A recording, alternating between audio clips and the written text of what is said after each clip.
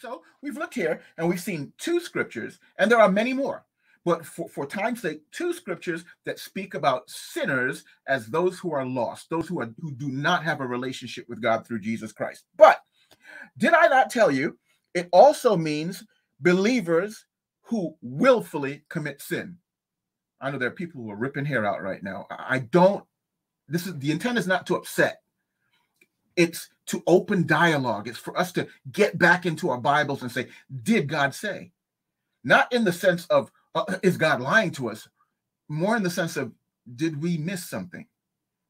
Are we lacking in some knowledge? Amen. So, with that said, turn to Galatians chapter 2. We're in Romans, 1st and 2nd Corinthians, and then Galatians. Hallelujah. And in Galatians chapter 2, find verse 17. Verse 17.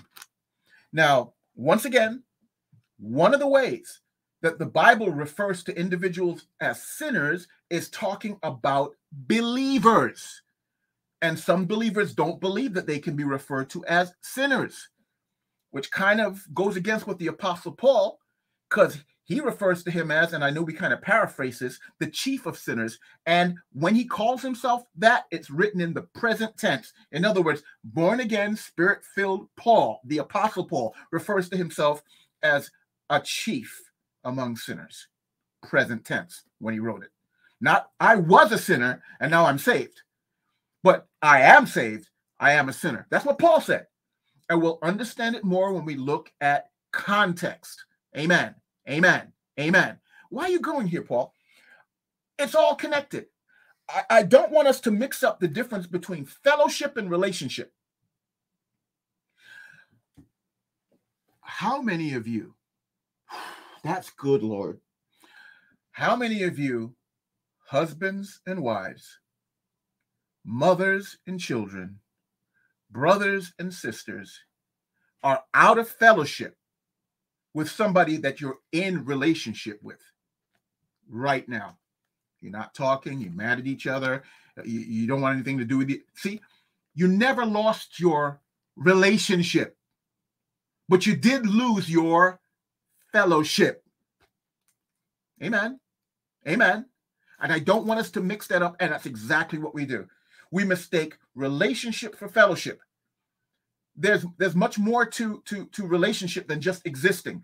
There's an intimacy an exchange of love an exchange of grace an exchange of mercy a, a causing of joy.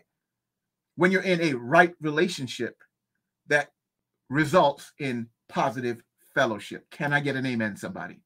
Hallelujah.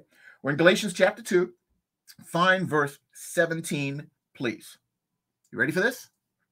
Now this is this is it's deep. We're, we're digging a little deeper. And I don't dig deep for people to look at me and go, oh, whoa, that's deep. I just don't want to be shallow.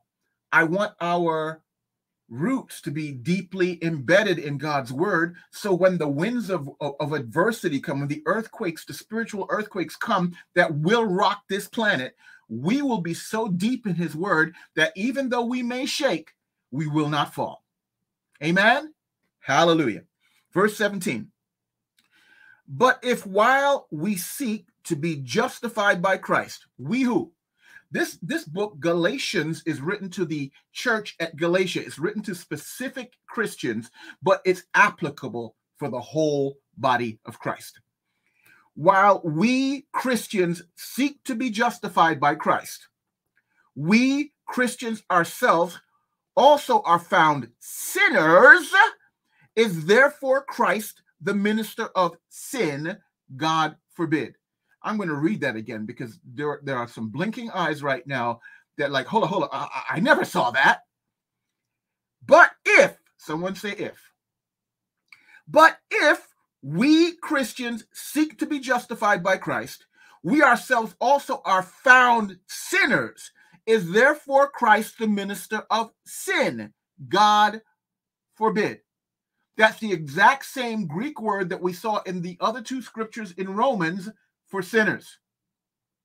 And here it's talking about born again believers with a caveat, God forbid. In other words, we shouldn't be acting like that.